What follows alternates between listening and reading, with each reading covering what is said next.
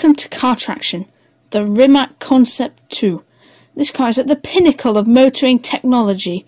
Perhaps I should even say it's from the future. The Rimac represents a new breed of hypercar and shows us what future cars may be like. However, the Rimac is no concept car. The Rimac Concept 2 is a real car for real people and can be bought for much, much money. In this video, I will delve into this extraordinary car that is alive with technology. If you enjoyed this video, don't forget to like, comment and subscribe. Rimac is not from what most people would consider to be a desirable background. No, I'm afraid it's not from Italy.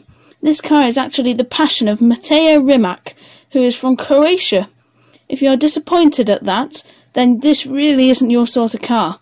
It's not like a Ferrari 458, for example. People won't recognize it on the road. Somebody could buy a 458 just to say that they have a Ferrari.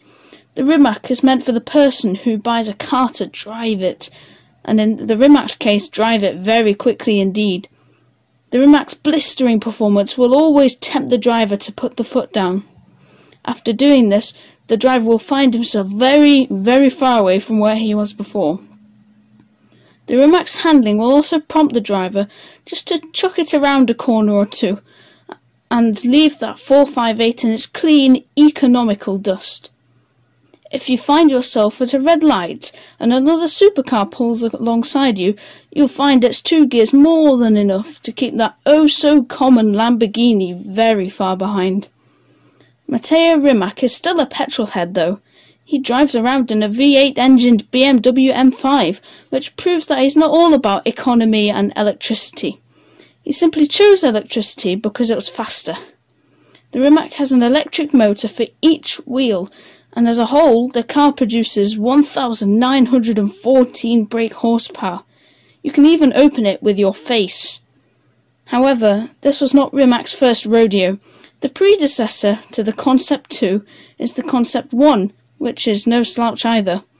The Concept 1 was an electric car too, and produced 1,340 brake horsepower, and went from 0 to 60 in two and a half seconds. This car became even more famous when Richard Hammond lost control of the car at a hill climb and ended up rolling it down a hill a few times before ending up in a fiery blaze. Hammond escaped the crash with a few injuries, but he has recovered. Ironically, sales were boosted after this, possibly because his lucky escape showed how safe the car is. When building the Concept 2, Rimac had nothing to base their car on because nobody embarked on such a huge project before. There was no existing platform, powertrain, or any electrics and more.